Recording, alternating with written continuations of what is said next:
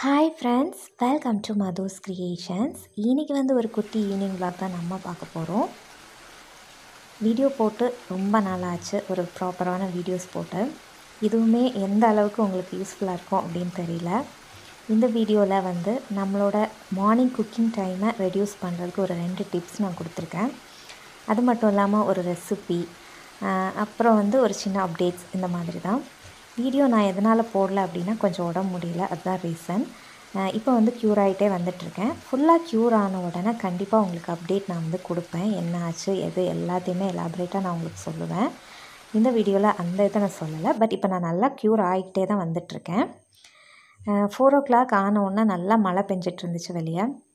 அப்போ எதாவது ஸ்நாக்ஸ் சாப்பிட்லாம் அப்படின்னு எனக்கு பிடிச்ச ஸ்நாக்ஸ் பண்ணிகிட்ருக்கேன் ஒரு நாலு ஸ்பூன் மைதா மாவு எடுத்துட்டேன். அதில் கொஞ்சமாக மிளகாத்தூள் கொஞ்சமாக பெருங்காயத்தூள் உப்பு ஒரு பாதி பெரிய வெங்காயம் அப்புறம் ஒரு பச்சை மிளகாய் சேர்த்து நல்லா மிக்ஸ் பண்ணிவிட்டு பொரித்து எடுத்து சாப்பிட வேண்டியதுதான். ஃப்ரைடு ஐட்டம் தான். ஆனாலும் நமக்கு வந்து என்னைக்காவது ஒரு நாள் இந்த மழைலாம் பெஞ்சிட்ருக்கப்ப சாப்பிட்றதுல தப்பு இல்லை. மைதாமாவும் நல்லதில்ல தான். பட் எனக்கு வந்து இது ரொம்பவே பிடிச்ச ஒரு ஸ்நாக்ஸ் ஈவினிங் ஸ்நாக்ஸு எப்போவும் சாப்பிட மாட்டேன். என்றைக்காவது இந்த மாதிரி மழை இந்த மாதிரி சாப்பிடணும்னு தோணுச்சுன்னா அது சாப்பிட்றது தப்பு இல்லை இல்லையா? என்றைக்கா எப்போவும் சாப்பிட்டா தானே தப்பு? ஸோ இது ரெடி ஆகிட்டுருக்கு இங்கே வந்து டீயும் வச்சுட்டேன். இந்த மாதிரி மழை டைமில் நல்லா ஒரு இந்த மாதிரி சுட சுட ஒரு ஸ்நாக்ஸும் ஒரு டீயும் குடிக்கிறது அப்படிங்கிறதே ஒரு ரொம்ப சந்தோஷமான ஒரு விஷயம் இல்லையா? ஸோ அதை தான் இப்போ ரெடி பண்ணிகிட்ருக்கேன் இதுக்கு அடுத்து பார்த்தீங்க அப்படின்னா இன்றைக்கி வந்து ஒரு ரெசிபி காட்ட போகிறேன் இது வந்து கேரளாவில் ரொம்ப ஸ்பெஷல் முட்டை திளப்பிச்சது அப்படின்னு சொல்லுவாங்க. ரொம்ப ஈஸி பட் வந்து நமக்கு செய்கிறதுக்கு சோம்பேறியாக இருக்கும்ல சில நாள். ஆனால் நல்லா சாப்பிடணும் காரசாரமாக அப்படின்னு நினைக்கிறவங்க இந்த மாதிரி செஞ்சு சாப்பிட்லாம்.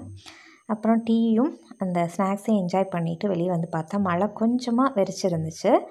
பார்த்திங்கன்னா அந்த தொட்டிலெல்லாம் ஓட்டை போட்டுட்டு தான் நாங்கள் மண் போட்டிருந்தோம். இருந்தாலுமே சில தொட்டிலெல்லாம் ஒரு மழை பெஞ்ச உடனே தண்ணி நிறைஞ்சிருது. தண்ணி நிறைஞ்சிருச்சுன்னா அந்த செடியெல்லாம் அழுகி போயிடும் இல்லையா? அதனால் அதை இது ஒரு அடிஷ்னல் வேலையாக இப்போ இருக்குது சில செடியெல்லாம் அழுகி போச்சு. நிறைய பேர் அந்த அதாவது கார்டன் அப்டேட் சொல்லுங்கள் அப்படின்னு சொல்லி கேட்டிருந்தீங்க. அப்டேட் இல்லை காட்டுங்க அப்படின்னு சொல்லியிருந்தீங்க.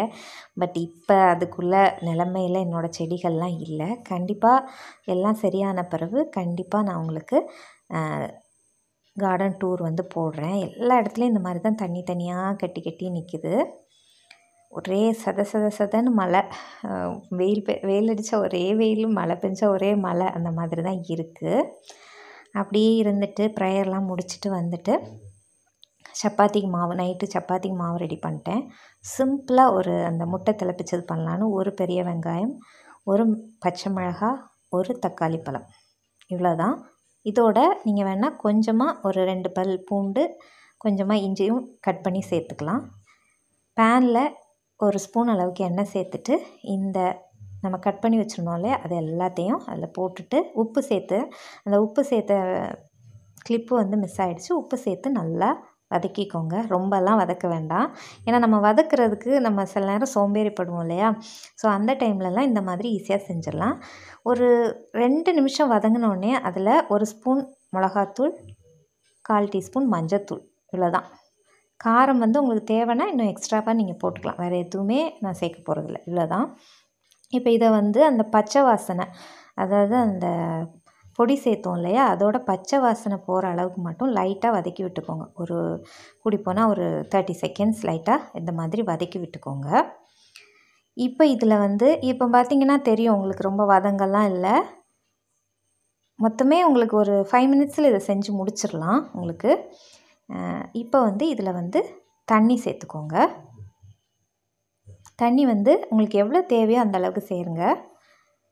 நான் வந்து இந்த அளவு வந்து ரெண்டு முட்டைக்கான அளவு தான் சொல்கிறேன் உங்களுக்கு எத்தனை முட்டை நீங்கள் சேர்க்குறீங்களோ அதுக்கு தக்கன நீங்கள் அளவு சேர்த்துக்கலாம். இந்த அளவில் வந்து இப்போ நான் செ செஞ்ச அதாவது ஒரு வெங்காயம் ஒரு தக்காளிக்கு வந்து மூணு முட்டை சேர்க்கலாம். நான் இப்போ வந்து ரெண்டு முட்டை தான் சேர்க்குறேன். எங்களுக்கு ரெண்டு பேர்னால ரெண்டு முட்டை போதும் அப்படின்னு ரெண்டு முட்டை சேர்க்குறேன். நான் முட்டையை உட உடச்சி நான் வச்சுருக்கேன். நீங்கள் ஸ்ட்ரைட்டாகவே அதிலே ஊற்றிடலாம் இந்த மாதிரி ஊற்றிட்டு அதுக்கடுத்து கிளறவே கூடாது. அந்த தண்ணி ஊற்றிட்டு தண்ணி கொதி வந்த உடனே முட்டையை போய் ஊற்றிட்டு அப்படியே சிம்மில் வச்சு மூடி போட்டுருங்க. மூடி போட்டுட்டு ஒரு ரெண்டு நிமிஷம் கழித்து பார்த்தீங்கன்னா முட்டை அழகாக வெந்து இந்த மாதிரி இருக்கும். சப்பாத்தியோட செம்மையாக இருக்கும். கண்டிப்பாக ஒரு நாள் ட்ரை பண்ணி பாருங்கள் ரொம்ப ஈஸியாக இருக்கும். பட் வந்து டேஸ்ட்டு நல்லாவே இருக்கும். இப்படி சிம்பிளாக இருக்கே நல்லா இருக்காது அப்படின்னு நினைக்க வேண்டாம். ட்ரை பண்ணி பாருங்கள் ஒரு நாள். சோம்பலாக இருக்க நேரம் ட்ரை பண்ணி பார்க்கலாம் அடுத்து வந்து காலையில் டைமில் நம்ம ஹரிபரியாக நம்ம நிற்போம் இல்லையா? ஸோ அந்த டைமில் எப்படி வந்து டைமை முத நாளே சில வேலைகளை செஞ்சு வச்சோம்னா டைம் மேனேஜ்மெண்ட் நம்ம பண்ணிக்கலாம். ஸோ நான் என்னெல்லாம் ஃபாலோ பண்ணுறேன் அப்படின்னு பார்த்தீங்கன்னா முதல்ல இப்போ நாளைக்கு என்ன குழம்பு என்ன பொரியல் அதை ரெடி பண்ணி வச்சேன். இப்போ நாளைக்கு பார்த்தீங்கன்னா பாவக்காய் குழம்பும் பீட்ரூட் பொரியலும் பண்ணலான்னு இருக்கேன். ஸோ பீட்ரூட் பொரியலுக்கு என்னெல்லாம் தேவையோ பீட்ரூட்டை நான் சரி துருவி அது கூட மிளகா தேவையான அளவு வெங்காயம் எல்லாம் போட்டு வச்சுட்டேன் ஒரு பாக்ஸில் அடுத்து வந்து பாவக்காய் குழம்பு பண்ண போகிறேன் பாவக்காய் குழம்புக்கு என்னென்ன காய்கறியெல்லாம் வேணுமோ அதையும் நீட்டாக கழுவி வெட்டி கட் பண்ணி வச்சுட்டேன். இப்படி வச்சிட்ருக்க நேரம் நீங்கள் காலையில் எழுந்து குக் பண்ணுறதுக்கு ரொம்பவே ஈஸியாக இருக்கும். வேறு நிறைய டிப்ஸ் இருக்குது ஸோ அது எல்லாத்தையும் ஒரு வீடியோவாக நான் ஃப்யூச்சரில் அப்லோட் பண்ணுறேன் அடுத்து பார்த்தீங்கன்னா நாளைக்கு எனக்கு பிளான் வந்து மார்னிங் டிஃபன் வந்து பொங்கல். பொங்கலுக்கு வந்து பருப்பு வடை செய்ய போகிறேன் ஸோ பருப்பு வடைக்கு எல்லாமே மாவு அரைச்சி ரெடியாக இந்த பாக்ஸில் ரெடி பண்ணி வச்சுட்டேன். அடுத்து பார்த்தீங்கன்னா பொங்கலுக்கு நம்ம அரிசியும் பருப்பும் லைட்டாக நம்ம வறுப்போம். அப்படின்னா தான் வந்து அந்த ஒரு பசத்தன்மை இல்லாமல் இருக்கும். ஸோ அதையும் வறுத்து டிஃபன் பாக்ஸில் எடுத்து போட்டு வச்சிட்டேன். அப்போ நாளைக்கு காலையில் கழுவிட்டு நம்ம பண்ணிட்டா போதும். ஸோ வடையை எண்ணெயில் போட்டு எடுத்துட்டா போதும். அடுத்து வந்து பொங்கலுக்கு என்னென்னலாம் தேவையோ அந்த இது எல்லாத்தையுமே அதாவது நம்ம இது போடுவோம் இல்லையா? சீரகம் இஞ்சி அது எல்லாத்தையுமே நான் அந்த மாதிரி கட் பண்ணி ரெடியாக எடுத்து வச்சிட்டேன். ஸோ இப்போ இது எல்லாத்தையும் நம்ம ஃப்ரிட்ஜில் வச்சுட்டோம்னா காலையில் எழுந்திரிச்சு கடகடன் வேலையை முடிச்சிடலாம். ஸோ இந்த ரெண்டு டிப்ஸும் தான் இன்றைக்கி நான் உங்களோட ஷேர் பண்ணிக்கிறேன். இந்த வீடியோ உங்களுக்கு பிடிச்சிருக்கோன்னு நம்புகிறேன் பிடிச்சிருந்துச்சுன்னா லைக் பண்ணுங்கள் ஷேர் பண்ணுங்கள் சப்ஸ்கிரைப் பண்ணுங்கள் தேங்க்யூ ஃபார் வாட்சிங்